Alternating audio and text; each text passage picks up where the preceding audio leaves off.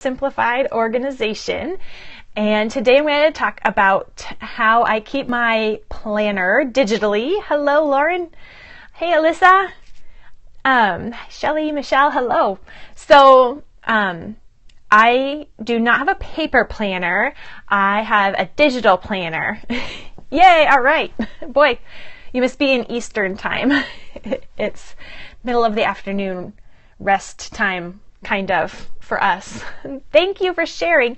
Um, what was your name, Mac Jefferson? I know you were on, on my previous scope, but I can't remember your full name. So thank you for sharing. Hi, Celeste. Okay, Makisha, Makisha? Is that how you say it?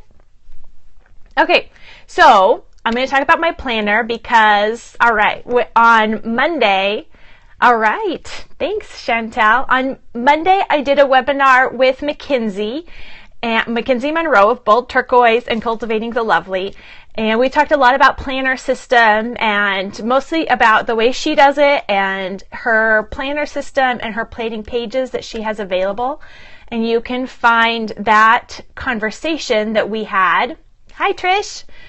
Um, uh, it's still available. You can get the replay. Soon I will have the chat log and the audio audio only version up. But right now it's just the video replay that you can get if you go to simplifiedorganization.com, which you can see right there, and it's slash bold planning to find that replay. And it's still available live. It's going to be available. I don't plan on taking that down. It's going to stay free. So you can still sign up and go watch that webinar. And while we were doing that, thanks, Alyssa. Um, all right. Well, maybe you do and maybe you don't. You know, you don't have to do it digitally, but it's definitely an option that is kind of underutilized. So while we were there, one question that we got was how do you keep your plan digitally? Uh, how do I? Because Mackenzie is the queen of paper planners, and hers is really flexible, which is nice, and of course, full of washi tape and stickers. And I'm a little bit more clean lines, minimalist, just the thought of having a bunch of stickers and all kinds of washi tape or whatever kind of I start breaking out in hives a little bit thinking about it. but it takes all types and you should have a planning system that appeals to you and your personality. You know, if you really uh, enjoy crafting and expressing your personality with stickers and color and all kind you know doodling or whatever then definitely pick some kind of planner system that's going to let you express that in your planner because i think the more our planners express our personality the more likely that we are to actually use them and be drawn to them be attracted to them. So i'm attracted to apps and to how keeping information digitally makes it a lot more convenient and accessible and automated. If there's a way something can be automated, you can also combo, have a combo system.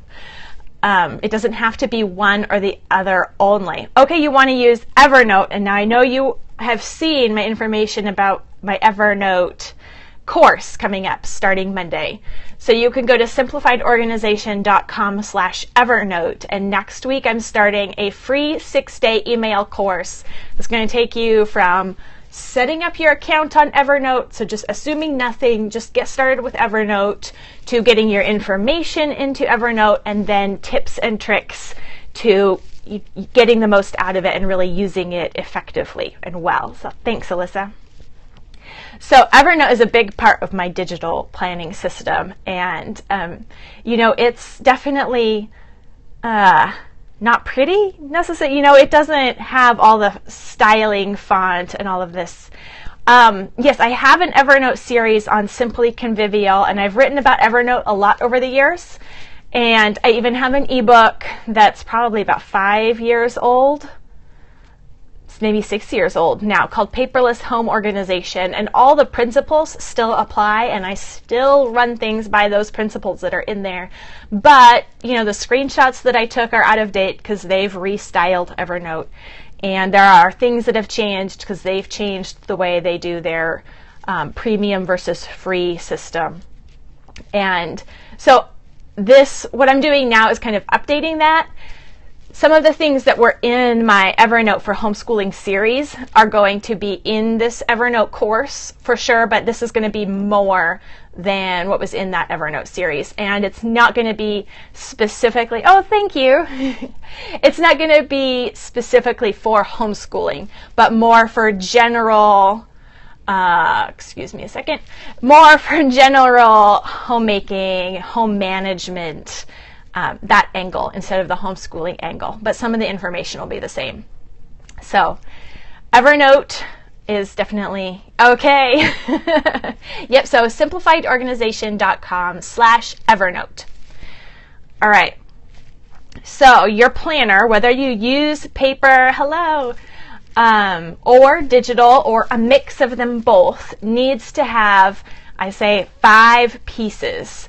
Now, all of this is actually in my course called Work the Plan, which is about taking, you know, you have goals, you have ideas of things you should be doing, but then how do we get them actually done in the midst of daily crazy life, home with kids, and doing lots of stuff?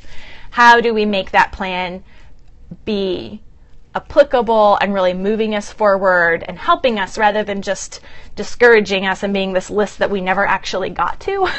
where it's like kind of connecting the ideal, like what's it, the plans in my head to what my day is really like and how can I make these things go together? Because I think a lot of our habits around planning, it's like we like planning because we spend that planning time in this ideal happy place in our head and we make plans based on how we would like things to be and our hopes and what we want and, you know, and it's a great ideal and it's a great kind of daydream to spend a little time in. But then when real life happens, hits, Monday morning hits, Tuesday morning hits, we think, okay, my plan is useless. And it's really easy to jump to, therefore, planning is a waste of time. Exactly. We're just asking for it, really. so Work the plan is all about connecting the plan to what real life is actually like and planning for that instead of starting with the ideal dream in our head and trying to make that happen in our life. but start where we really actually are and what life is really actually like and make a plan that can run with that. So it's work the plan, roll with the punches, because that's what real life is like, and do the right next thing. All right, excellent. Yeah. Not everyone homeschools, not everyone is ready for that. Some people are done with that. Some people send their kids to school and it's all fine. But if we have kids, even, or even just a household, even if you don't have kids yet, you have details to manage. So this is just a way to use Evernote to keep that information sorted and um, ready, ready to be used when you need it. So even if you don't have kids yet, this is still going to be applicable and probably a great way to get started because you know if you can get started earlier and the easier it's going to be as stuff starts piling as more and more stuff starts piling onto your plate. Okay so that's evernote and planning. Just did a little that was a little tangent. Um, um okay evernote it's fine and you can also start later and it's still going to help you right? Because you still have a lot of years left. Um, so